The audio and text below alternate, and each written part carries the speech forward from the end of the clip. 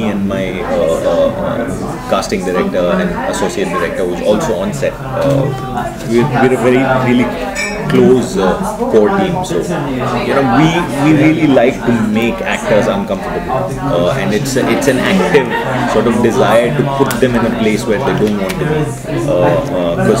Especially when you have a mix of actors and non-actors, and and actors who are just coming out of something which they might not be that interested in, I think it helps to have an uncomfortable environment and and the actor just floating around and, and not knowing what space he's in, uh, and that sort of at least it works for this kind of a film. Something that's so raw and so high on emotion. We are we are really into just fucking around with actors a lot. We just pit one against the other. Uh, we, will just you know we'll just create a sort of conflict.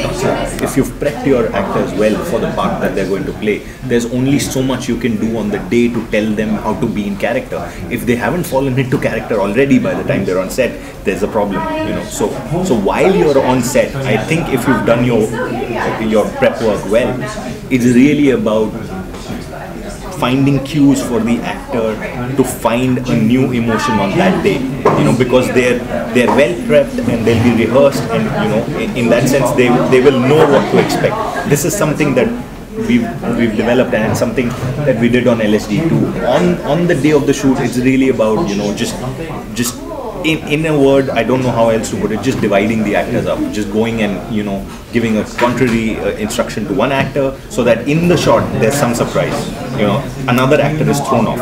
Uh, and, and sometimes that really leads to finding situations or finding moments in a scene which cannot be put on paper. When, you, when you're shooting, you're, you're only driving towards one emotion, one emotional effect for, for what you're trying to, in terms of the dramatic graph that you're trying to create with these people.